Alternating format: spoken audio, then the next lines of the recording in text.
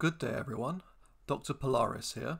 Today, we will be examining a couple of Eocene North American fossil sites to give a better impression of what life was like at this time. We will be starting with the animals of the Reeves bone bed from the late Eocene of Texas, 37 to 33 million years ago. I will give you a few case studies from each, and if you would like to know more detailed information on each of these fossil sites, then please feel free to visit my DeviantArt page. Now, let us begin with number 1 Segnonyx procerus.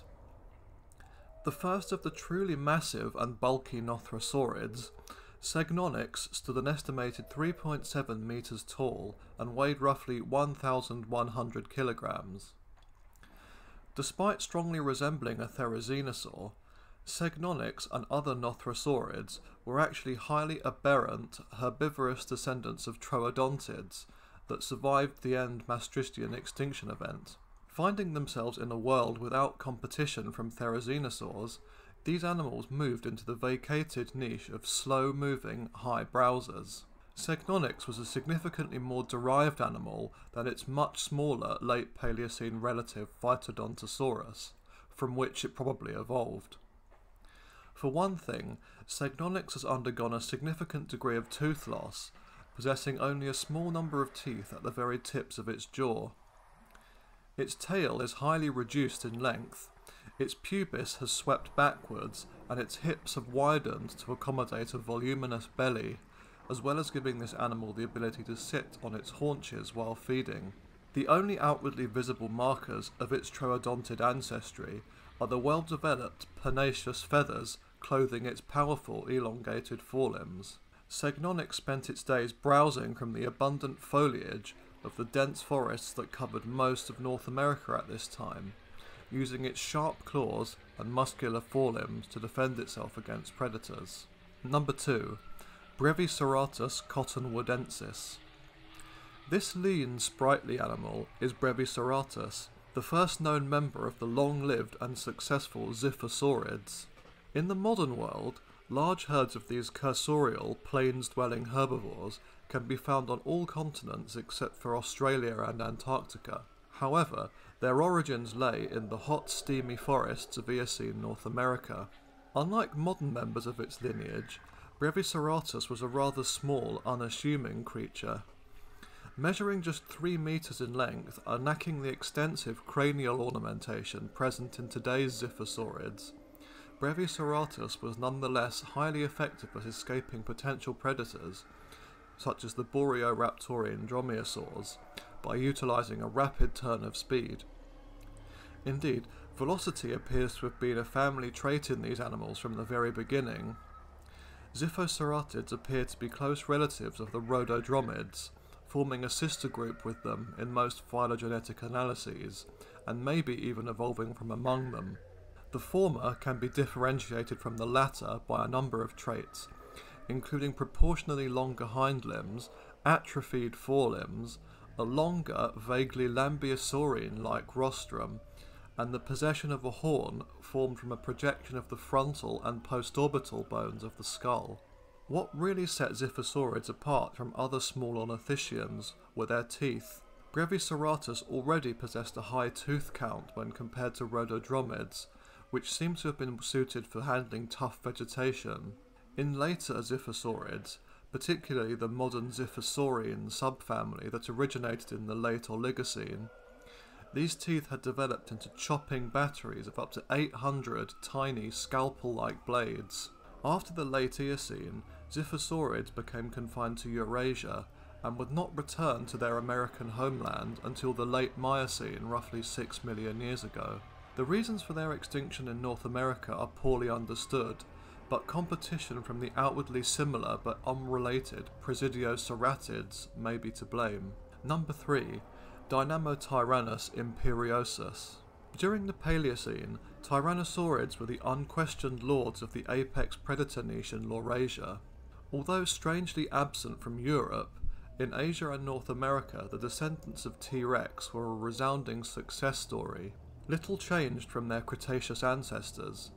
Imposing 12 metre long behemoths like Dynamotyrannus spent their days lurking on the edges of the thick tropical forest that covered Eocene Wyoming. While juveniles were highly cursorial, slender pursuit predators, fully grown adults could only muster a brief but explosively powerful sprint in the direction of their preferred prey, weak or injured hadrosaurs and ceratopsians. If the unfortunate prey item could not escape, it would be dispatched by a tremendously brutal bite to the neck or flanks. In fact, Cenozoic tyrannosaurids possessed even more powerful jaws than their Cretaceous forebears, while at the same time developing stockier and thicker hind limbs. Studies have confirmed that Dynamotyrannus was slower than T-Rex, with an ultimate top speed of around 20 miles an hour and an overall weight of roughly 7.5 tons. The reasons for these evolutionary developments seem to be tied to the spread of dense tropical forests during the Paleogene. With the increased ground cover, coupled with teeming herds of potential prey roaming the landscape, Tyrannosaurs simply had an easier time ambushing their next meal, and could afford to pack on the pounds at the expense of a little speed. When conditions began to change during the late Eocene in Asia, this would spell disaster for that continent's tyrannosaurids, who would end up disappearing there along with the hadrosaurs and ceratopsids.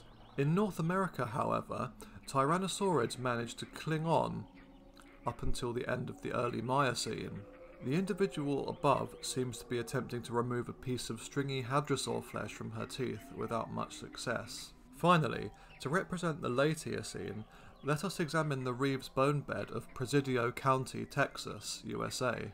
Number 1. Nodontoraptor australis. This furtive little creature is Nodontoraptor. Dwelling in the subtropical open forests of late Eocene Texas, Nodontoraptor was named for one surprising anatomical feature, a completely toothless beak. While the rest of the skeleton seems to have been rather typical for a small troodontid, the development of a beak was a novel and very important evolutionary step.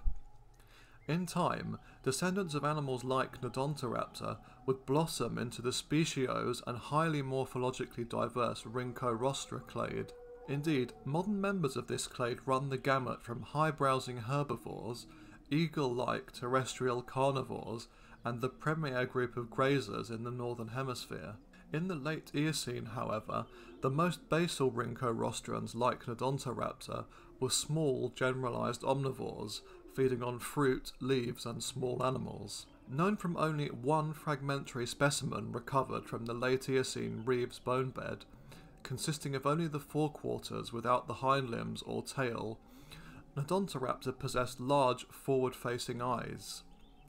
This suggests a nocturnal or crepuscular lifestyle.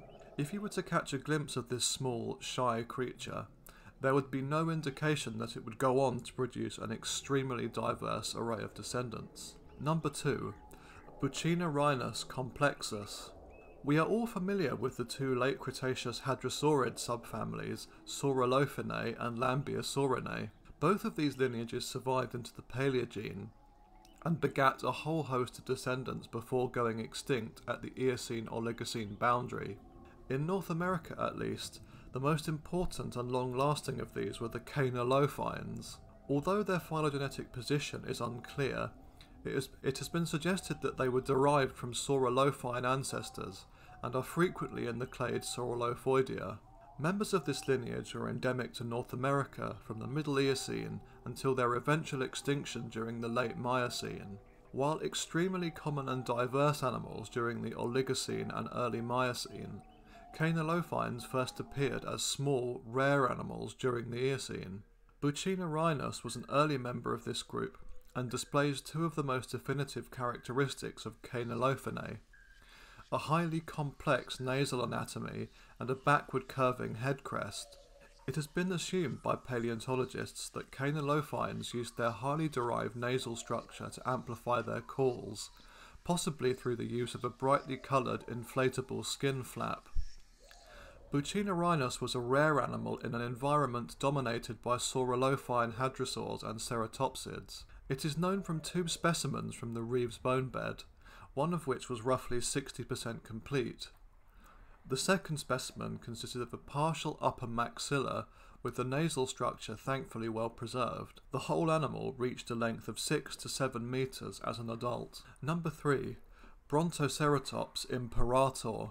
By the early Eocene, the great Chasmosaurian ceratopsians of North America were extinct. For the remainder of the period, however, their Uintaceratopsian relatives simply stepped into the niches left by their more ancient cousins.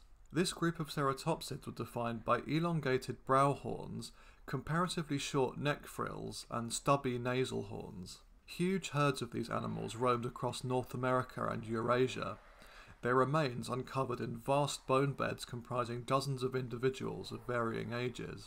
By the end of the Eocene, some Uintaceratopsians had grown to enormous sizes and appear to have been moving into an almost sauropod-like mode of existence. Indeed, the largest and last North American member of this group, Brontoceratops imperator, measured up to 15 metres long and weighed in excess of 13 tonnes. This massive animal possessed some anatomical features that were quite atypical for ceratopsids.